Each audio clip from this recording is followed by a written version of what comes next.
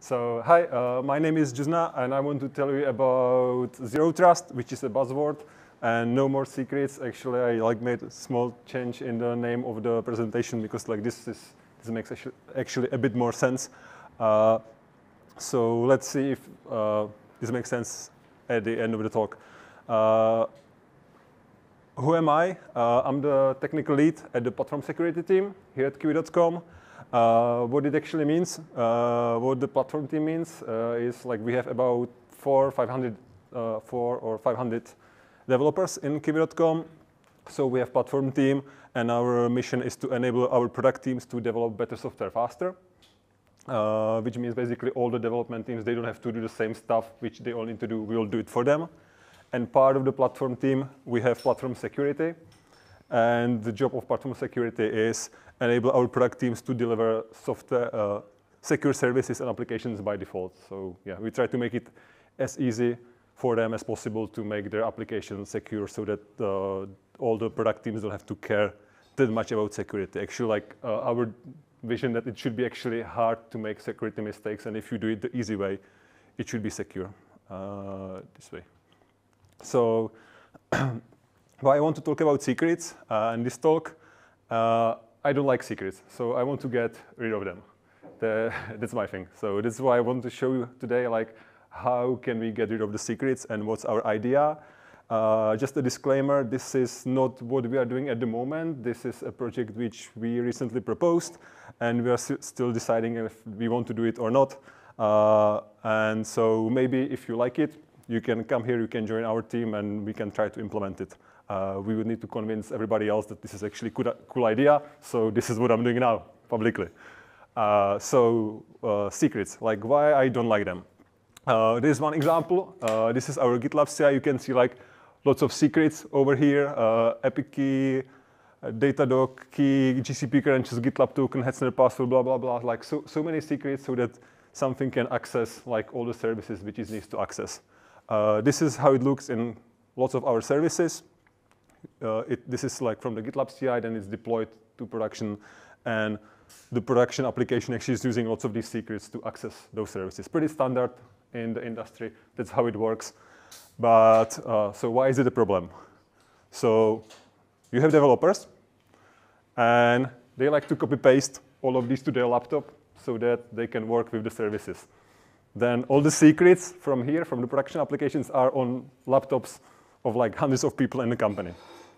Then they just copy paste it to some other services because like you need a new Slack application, so you can ask the Slack admins to create a new secret for you so that they can access the Slack, or you can just copy paste it from here and just faster it works. So this happens and like tons of microservices actually use the same token, which is meant for completely different application. So that sucks. Uh, of course, people accidentally commit it to Git all the time. Uh, they copy paste it to shared docs and it's visible in the history to others. they show it via Zoom, especially while recording the screen. Then the secret is again leaked. And yeah, this is all just too much pain. So like the secrets in this case, they're very easy to set up, but then like very, like it's a huge pain to actually maintain it and keep rotating it. I have another example. I spent, sorry, I didn't have time to like make the slide nice, but like let's say you leak the credentials to your database, so and you need to change it. So what do you do first? Do you change the database password or do you deploy the application? Either way, like something will not work because it takes some time. Usually some other team needs to change the database password, then you need to deploy the application that can take like 15 minutes, uh, 30 minutes, and during the time like the application actually cannot talk to the database because it still has the old password. So it's actually like pain even to like work with the secrets if they leak. And third example is like so, so many operations. So this is what we see all the time. Like, please, can you generate me a new password? Uh, I leaked it to GitLab or something, or people just asking for passwords, and then people actually have to go. Usually, it's like one team who owns a service like PyPI. They create a user, new username, new password, they have to send it to the requester, and just like too much work, which is like, why do we even need to do that? Like, it should be smart, and we have computers to do the work for us. So what can we do? Uh, idea is, let's get rid of all the secrets and like make them go away, and all these problems go away with that case. Uh, you cannot leak them, you cannot share them, you don't need to rotate them, anything. Uh, perfect. So, but how does that work? So the idea is like SSO or single sign-on, which you probably all know for humans. So like you go to any application and it's like login via Google or via Apple, via Facebook or something. You don't have to have separate password for every application. You just use the single sign-on. You log in everywhere, especially in companies like we have Okta. So we all log everywhere via Okta. So basically anywhere you go as a user, you log in and you are there. You don't have to have any secret, any password to log in to any service. Uh, it should work pretty much the same for the services. So how do we achieve that? Uh, JWT is a boring technology which has been around for a huge amount of time, but it works. If you haven't seen that, just super quick intro. This is how the JWT token looks like. Here on the left, uh, you can see just like long string. It consists of three parts. Uh, I'll probably just show it here. So there is some like header, which you can see decoded here. This is just base64 encoded. So it's a header, what, what it is. Then content of the security token, and then some signature, which is verifying that the token is valid and nobody was playing with that. Uh, what you can see in the token, this is from, by the way, from jwt.io. There's a nice debugger, so you can play with that. You can put it, put the JWT tokens there. It will decode it and show you all of this, or you can also work the other way that you just enter the data. It will generate the tokens for you. Uh, obviously, for testing, don't put like any production secrets or like production data there. Uh, so in the, in the JWT token, what do you have? Uh, this is the important part. So it says the issuer, which means uh, accounts.google.com. It says I, google.com identity management, I provided this token, which is verifying this email, which is like asset inventory. For example, this is like one of our services.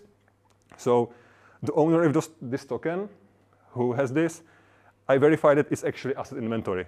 Uh, also, the owner said, like, I want a token for something. So this is the audience. Uh, so the token is only valid if you send it to this uh, third party or this uh, service. And there's some like expiration issued at, etc. So that uh, it's actually valid only a short time. So like it's a very simple thing. Uh, basically just these things and the signature, which is verifying that it's secure. Uh, this is using, uh, like there are two ways how you can use the JWT tokens, either symmetric cryptography, which is boring and you need to share secrets, so that's just stupid and don't use that, or asymmetric crypto, where you have uh, basically Google is signing the tokens for you and you can easily verify it via Google's public key and uh, their certs that it's actually valid from them and you don't have to share any secrets at all. Uh, then you can your application can take this token, send it to some other application, and this way it can uh, like authenticate that actually that it's actually the asset inventory uh, as verified by Google, and it, the token has been issued recently in this time. So yeah, this is technology which has been there for ages, and it's so boring that most of the time you don't even hear about it, but it works pretty well. Uh, so, but there are some problems. Uh, so where do I get the token? Hmm. And isn't this like another secret? So we just got from secrets to other secrets. So what did we even solve? So where do we get a token? Uh, ideally from the runtime. So whatever the application is running, just ask the runtime for the secret, or for the JWT token, and you don't need uh, anything else. And here's the example in GKE, Google Kubernetes Engine. Uh, Google provides a metadata server which is running like on this well-known address. You can just make HTTP call to that and say like, I want to have identity token for this audience. So this represents like what you saw uh, in the JWT token on the previous slide. It just gives you back the JWT token, uh, which contains all the information. so if you are running on Google Kubernetes Engine, just ask uh, you just ask the Kubernetes engine for that, and you get it. So it's super easy to get it. And if you run somewhere else, like if you run GitLab CI, it actually just passes it as environment variable. There is CI job JWT token, and you have it. In lots of other cases, again, just like depends where the application is running, just ask the runtime. It should provide you with the token so that you can use it. And you don't need to care like how to get it ideally. Uh, yeah, depends on where you run. So if you want to know more like specific cases, ask me and, or Google the documentation. So that's how you get it. So that's easy. And isn't it another secret? Uh, yes, a bit, but it's a very short-lived secret. Uh, unlike the tokens which you saw in the beginning in like the Slack tokens and all of that, which are valid forever. And if you leak them, they are leaked forever and they are hard to change. This is short-lived. It's usually valid for one hour only. So even if it's leaked, it's usually not a big problem because by the time somebody could actually use it to attack you, it's no, not valid anymore. And actually, like, it's no use for devs to do anything of that, like what I mentioned before. Like, there's no use to copy paste it to their laptop because in one hour it will stop working. So nobody will do that. There's no reason to like, if they leak it on uh, Zoom recording, it's fine because by, by the time somebody sees the recording, it's not valid anymore. So this solves like most problems of the secret. So that's fine. So I would say, yeah, it's those biggest concerns for that. I would say it's solved. So basically, TLDR, where are we now? Uh, we have the JWT tokens, and which is basically the single sign-on token, which can be used for any services running anywhere to talk to anything else. And you basically achieve the single sign-on for your applications, and you don't need to share any secrets anymore. Uh, but this was just the part like, okay, like how do I get all of these JWT tokens? Now I need to be able to actually use them somewhere. Uh, otherwise it's not useful. So where can I use that? If you call any Google services, like you need to talk, you need to edit a Google Sheet, a Google Doc, you need to talk to a storage bucket, you need to connect to a Google Cloud SQL database, anything in Google, you can use these and Google will basically look at the JWT token, it, uh, which says like, I, Google, myself, verify that the owner of the token is actually that service and that account, so it has access to that. So that's, that's super easy for them. Uh, but you can also use it in many other services like HashiCorp Vault is one of the examples. If you use that, you can just configure it and say like, okay, trust any uh, JWT tokens issued by Google and look at the email and just trust it. And then uh, basically in there, you can grant permissions based on that. And you don't need to do any other authentication to Vault. Uh, if you want to use it in your application, you can add code to your application and or you can use a library like uh, middleware, uh, which, yeah, which can, can, be pretty simple. Uh, you can also use Google Identity Aware Proxy, which is a cool thing, which I'll mention a bit later, which is part of load balancer. Basically, it sits between the user and your application, and it will verify the token. If it's valid, it will pass the request to the application. If not, then it will just drop it. Or if you use Istio, which is like a hyped thing, uh, service mesh, it has a sidecar, so it is a proxy next to the application. It can also, the sidecar can verify this. And if it's valid and matches some criteria, it can pass it to the application. If not, then it will just drop the request and the request will never get to your application. Uh, so uh, just a side note, Google Identity Aware Proxy, IAP, it's a cool thing. If you use Google Cloud, I totally recommend to use it. Uh, it's part of the load balancer, so you can see the life of the request. You have the user at the top.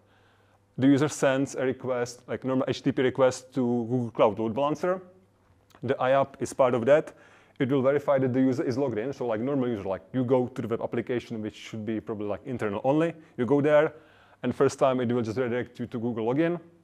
You log in, it will set up some cookie, and then you are logged in and you can go to the application and also you can use uh, Google Cloud IAM to say like which teams, which groups have access to the application. If you are not part of that, you will just drop your request and like all the way at the end, your application is here and no request will get there ever if they are not authenticated and logged in with uh, the identities which you allow to your application. Uh, this is, by the way, also great like for if somebody tries to DDoS you, they will basically just DDoS the Google Cloud Load Balancer, which is not possible to DDoS Google, and you will get no requests which are not valid. So totally recommend to use that even without like anything else, just for the users. Uh, uh, yeah, and you can enable the IAP either for some paths of your service. So if you have like foo.mycompany.com, you can enable it for some, some subpaths or for the whole domain, some subdomains. So you can have like internal tool.mycompany.com and that will be behind IAP and nobody will be able to access it. So, uh, yep.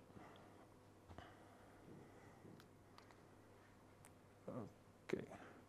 So uh, let's try to put it all together. I will have now lots of diagrams to show you like what are all the things, how we want to connect it together. So uh, this will be growing bigger and bigger. Here is the one service, for, for example, which is running in Google Cloud. It has some service account connected to it, and it wants to talk to Google, any GCP service like storage bucket. So what it does, it just asks the metadata server, which is running there automatically. You don't need to do anything. It gets the token, sends it there uh, the GCP service asks, IAM like, does this account have access to this bucket, to this file in the bucket? Gets answer yes or no, and works super simple. Like you don't need to pass any secret anywhere. There's nothing, even if the devs want to leak something, it's not possible. Like they cannot do it. They can only leak the token which will be expired in one hour. So that's great. Uh, second example is you have service A and service B and they want to talk to each other. So it's pretty similar like for the service A, it just wants to talk to the bucket, or it wants to talk to service B. So again, just ask like server, give me a token. You pass it to the service B, and the service B can validate the token the same way how the Google Cloud service verifies that, and that works. Uh, and as I mentioned, like you can have like some middleware, or you can have Istio sidecar, or you can put it in the code of the application. Depends. Like there's hundred different ways how to do it because it's so stupid and simple, just like simple tokens, so very easy to verify. So this is, again, works. Uh, this service doesn't have to know any secrets. This doesn't have to know anything, only the identity of that. Uh, again, nothing to be leaked, uh, and works. So great. Adding more stuff. So it's the same. Uh, now you have some employee there who wants to access the service through, the, through their browser. So that's what I mentioned, the IAP. You just uh, set the DNS record to point the Google Cloud Load Balancer. You enable IAP. The request goes straight to the service. It's validated. If it's not valid, the IAP will drop it. Super simple. The validation which you do here is basically the same if you do it this way or this way. It doesn't matter. It's the same, pretty much the same. There are tiny differences uh, in this case, like it says like it's token issued by accountsgoogle.com. In this case, it says like it's issued by IAP. Right? So we just need to configure that the service B accepts tokens from two different issuers. But that's it, and again, works super simple. Uh, another example, you have a GitLab CI job somewhere running like on your dedicated runner. For us, this is like in GCP, so here's like GCP public internet. GitLab CI job, or could be GitHub or anything.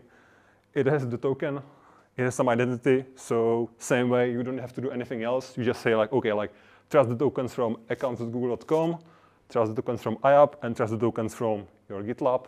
Your GitLab will generate uh, for any CI job a JWT token for it. Then you just pass the token. That's it. Nothing else to do, and works super simple. So that was pretty much it, like what you do. Uh, that's basically what you need for the services in production. All the cases, multiple services talking to each other, services are like connecting from your employees, etc. But some missing parts uh, to make it a bit more complicated because like in real life, we have more use cases. So use case for bare metal, we have some services which are running not in Google Cloud, but on bare metal provider uh, somewhere else. So I just drew a, like another line, just like this. So there's the GCP, there's internet, there is everything else, like AWS or for us OVH, etc., whatever else you want. So we have some service running here. Again, wants to talk to that service. Uh, if it's on the same network, like we use the same VPC, uh, the service, uh, it cannot ask the metadata server like here because it's not there This is provided by Google. This is not running in Google, so it's not there. But it can ask the Google authentication, like give me the token. So it's something like, I don't know, uh, the accounts.google.com. Just say like, yeah, give me the token. You need to log into that somehow. So you still need like some secret over here, which will authenticate you towards Google, but nothing else. Like to, you don't pass any secrets here. So it's like, a, it's easier to guard this one. And it's also like harder to actually like accidentally leak it. So this way, service running somewhere else, ask for the JW token, sends it to the service B, and super simple, works. Nothing to do. Uh, next case for local development. So say I'm a developer of service A, for example. I want to take service A, I want to run it on my laptop. The laptop is not in the VPC, it's here, it's basically on public internet, anywhere. Uh, you can notice we have like Office or VPN here. It's not in the Office or VPN, it's on public internet because like I'm at home, I don't need to connect to VPN. So what can the application do? Just pretty similar to this case. Talk to the GCP authentication, say like, please give me token, you get it. You pass it to the IAP load balancer. It's allowed to talk to the service, so it talks to the service. Works pretty much the same way. Only thing that the application actually like needs to be able to ask. Uh, so the, uh, the application, if it's running here, it asks the GCP authentication. If it's running here, it asks the metadata server. So the only config which you need to have there is this, the application, what it needs to do. So again, like simple and it works. Uh, it's not that super simple, like it needs to have some identity here in this case. So what I showed here is, this is a service account, which is actually like not account for a release service. We are thinking, we don't have this running in production yet, or in the local development either. So what we are thinking, like let's say have a kind of like service account, it would be a team account. And the application would be, in this case, using the team account to log in and pass the credentials so that here you would say application service A in production can talk to me and application or the like team account on their laptops can talk to me and nothing else. yep. And next thing is third-party services. So let's say you want to talk to Slack, Jira, anything else it doesn't provide this kind of authentication. And Slack only tells you like, okay, like here's the secret, just pass the secret on every request and it's valid forever. So what we are thinking is we would create, so for this outside world, we would have some outbound proxy. So instead of putting all the secrets like the Slack token here in your, into your service, we would put it here. It would be more secure. Only very few people who would have access to it. And then you would do the normal JWT, JWT authentication to the proxy. And you would send a request this way. It would fetch the token, for example, from Vault, attach their like real secret, pass it to Slack, and pass the response back. So there's still the secret here, but it's bound to like this small perimeter. The application and the developers and nobody else actually can access that. Only the Slack admins would basically just pass the secrets here and nobody would be able to see them. So not that great, but you need to deal with legacy internet and what works. Seems that it could work pretty well as well. Again, like we don't have this implemented, we are still thinking about it, but we think the idea is cool, so that it could work. Uh, next slide I had for some partners. So let's say we partner with some other company, and we say, okay, like you have your service running in your maybe Google Cloud and you want to talk to us. Actually, there's nothing new on this picture because like if they already, it would be similar to like this case or any of that. Uh, or if they have their service A is running in like different Google Cloud, they can just like get their uh, token from their metadata server and pass it through the public internet through the load balancer. And this load balancer, it doesn't matter if it's verifying tokens for your uh, your company or anybody else. So it, yeah, it can verify the tokens even like from your partners or from anybody else. And you don't need to share any secrets between like the two, two companies. So great, yep. Uh, some more cool stuff. Uh, this is like, even like, this is not that well thought out, but what we could possibly do next with this is end user authentication. So let's say you have some customer support tool, which is writing to some database, and let's say like uh, you, let's say like uh, it's writing some comments to the database, and in some cases you, you want to like delete the comments from your customers because like sometimes like your customer sends you like, hey, here's my credit card number. And if you store it, like it's bad, so, but you don't want to delete like any of the comments. So maybe you're thinking like, okay, I have this CS customer support tool, it's very big. Uh, I don't really want to allow it to delete stuff from the database because somebody from the developers or some, somebody would hack the application and they would be able to delete any uh, comments from your customers from the database.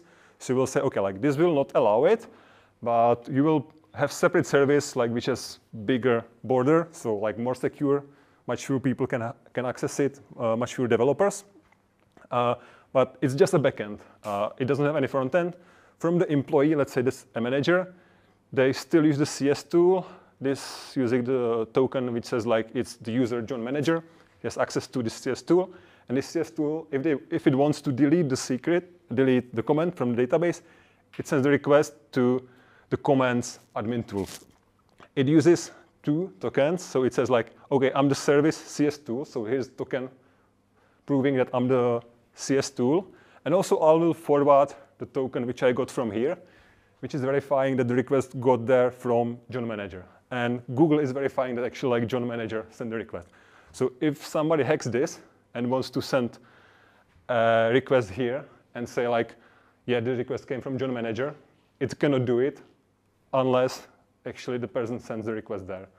So if the John Manager doesn't send any request, sorry, like you cannot even spoof the request. And this tool can either like, yeah, verify that like only the managers can delete the stuff, or it can log it somewhere else and then can delete it from database. So yeah, like you can basically pass the authentication through the chain and make the tools more secure, or like you can see the whole path who connected to and who is making the requests. So that's pretty much it, what I had to show you. Uh, just super quick recap, here is the whole thingy again, shown with all the pieces. Uh, what I think is pretty cool thing that the Office VPN, there's nothing because we don't care like if you're running in VPN, it's the same as public internet and you don't need to be in VPN for anything, uh, which is also like much easier for any developers for, or for, for any employees. They can just be anywhere and they always go through the IAP if it's a service which needs authentication. Cool. So that's it.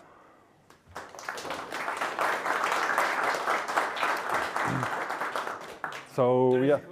Yeah, so if you want to have questions, feel free to shoot them.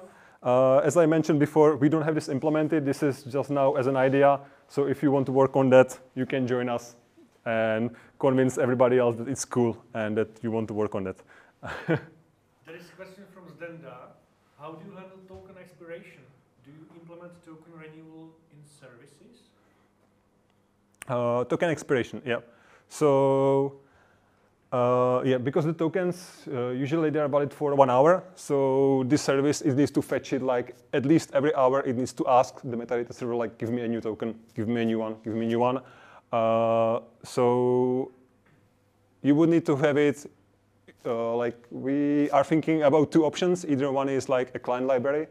So uh, which would do it automatically for you. So let's say Python, you use requests library. So we would just provide a thin wrapper on top of requests, which automatically fetches the token and attaches it and sends the request. And basically what you see in your application, you just use requests and you put some wrapper on top of that. Uh, we could also use Istio, the sidecar, so it could be running here as well. Uh, like with Istio and service mesh, usually like send the request from the service to like sidecar running here. It send it to the sidecar running somewhere else. So that sidecar would also like do the same, like fetch the token and forward it. And in that case, like usually you know which services you want to talk to, so you can kind of like prefetch it and uh, uh, so you don't need to do in the blocking path, like you don't need to do when you do the first request to service B, like if you know that you will be talking to service B, as soon as you start, you fetch the token, you just wait, and when the application does the first request, just you already have it, so we just pass it, and it doesn't slow you in any way. Thank you. Maybe let me extend the question. Do you have option to revoke the token? Uh, do we have the options to revoke the token? Uh, no, as far as I know, it's not possible. Uh, You can use yeah. Uh, uh, actually, like I don't know. Maybe it's possible. I don't know the JWT standard that much. So, but I think like the way how we think about it, it would not be possible. Uh, but yeah, because like we don't we don't check anything. We uh, we don't check any revocations list or anything. Just basically you get the token in here or the IAP, it gets the token and it just sees the issued at and expires at. And if it's within that range, it's valid. If it's not within the range, it's not valid. So you cannot revoke the token.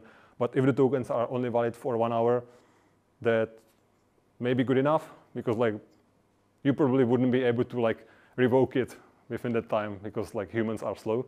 Or if you want to be like more secure, you can shorten it. You can make it one minute if you need to, and you can fetch the token every minute, uh, which should not be a problem. And then like you would definitely not be able to revoke the token within one minute if you are a human. I'm not sure if I missed it, but how does service B knows if service A can talk to it? Because for the bucket you have, it asks Yep. Yeah. So yeah, that's I didn't mention that. I was only talking about authentication, not authorization. Uh, so this is not here, and this is basically only providing like who is talking to you, not if that service has the access. But I was expecting it. So here's the backup slide. ah, I did. Uh, okay, the backup slide is wrong. I didn't manage to finish it. So uh, sorry for that. So uh, ideally, you would use GCP IAM, but it doesn't allow you to define custom permissions. So we have basically the same thing as here. We implement it, and we had it like on the side. So it's hidden here. So, but we have like our IAM, and you define it like I want these permissions to exist. So like there's a service called links, and it has permissions admin, edit, read, access, and then we define roles, which is links, read, write, access. And this role has these permissions, and uh, then uh, we manage like who is who gets this role. We manage uh, in separate tool. Basically like it's done in okta and we have some uh, custom tools built on that. So you can apply like you can request i want to join this role. Somebody will approve it. You will be there automatically. And then you basically have the permission. And then service b on the request it will send the request to IAM and say like okay i got the token which says it's john manager can John Manager do links access? It will ask our IAM, it will look at this configuration and Okta group management. If the person is in this group, it will say yes, they have access. Otherwise, we will say Like no. your internal service. Yeah, yeah. It's it's internal service. It's doing basically completely the same thing as this one. Uh, the only reason is that like this this only supports permission like uh, bucket, uh, I don't know, bucket get or something like that. It doesn't support permission like links access, links admin, etc. You cannot define custom permissions. Yeah, so we had to like implement. Uh, had to build it yourself, or Yeah. is it like some some tool you can use? Uh, we build it ourselves, and it's public on GitHub as open source, so you can you can use it. and some uh, other tools like Keycloak or something which can manage roles would be able to handle. Uh, it's possible. I don't know. I haven't checked anything else. Like by the time I was looking at this, it was already implemented and working. So, I just meant Yeah, yeah. you investigated before you started working on your own. uh, uh, yeah, I don't know. I don't know. This this predates me. Thanks. Um, I have a question. Um, if you take the whole life cycle of this project, um, how much man days or hours would um, implementation and deployment to companies such as Kiwi take? I mean, it's like hundreds of days. or- Yep. Yeah. So question is for the recording. If you if we would like to take this project, how long it would take to deploy in the whole company. And yeah, that's a hard part. Uh, we have no estimation. Uh, we would still have to like figure out like uh, how do we actually want to do all of this like do we implement the middlewares that would mean like implementing middlewares for like python go node.js uh, whatever other languages maybe different frameworks we could use istio in that case you don't have to touch the application would just use the sidecar uh, so that could be uh, i think this could be done like in a month or two with a small team uh, but then it would have to be managed overall. So like probably you would need uh, some people to actually like provide maintenance for that. And what is the implementation? And that means like it's ready, but there are zero applications using it. If you take Kiwi with like hundreds of microservices, then we need to say, okay, like each of the 100, 100 microservices needs to use that. And then uh, that's, that's hard and uh, depends on like each team if they have time to actually do it or not. Uh, I think it could be pretty simple. We can either say to them like, if you want, you have the middleware. So like if you are using Python and Flask or Python AIOHTTP, just use this middleware. Uh, with the proof of concept which we did, it was like two lines of code to change, uh, change in the application to, or like the server side, it was like two or three lines on the client side. Like, so here like the requests, as I mentioned, Python requests. So like three lines to change on that. Uh, one line of that was like the import. So pretty, pretty simple and it worked. But it means you need to change the application.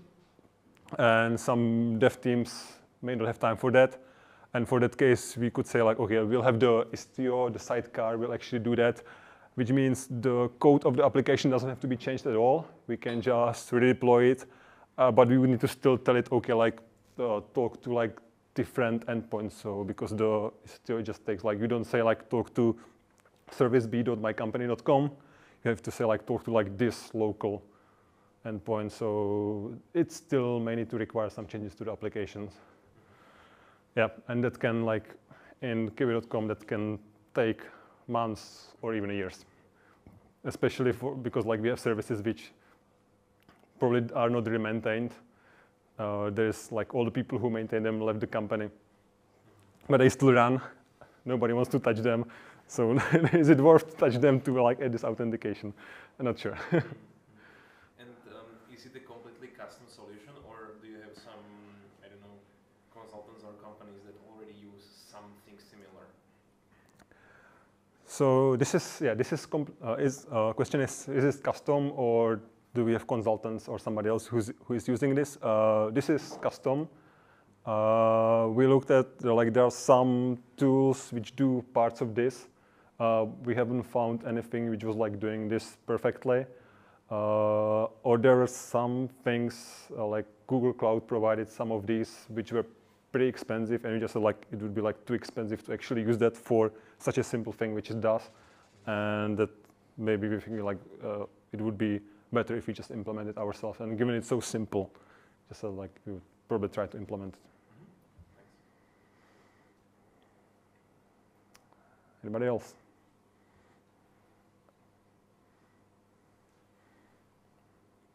Uh, and no other questions on Slido? No other questions on Slido. Yeah. So Okay, good. So thank you all. Uh, we can finish here. And uh,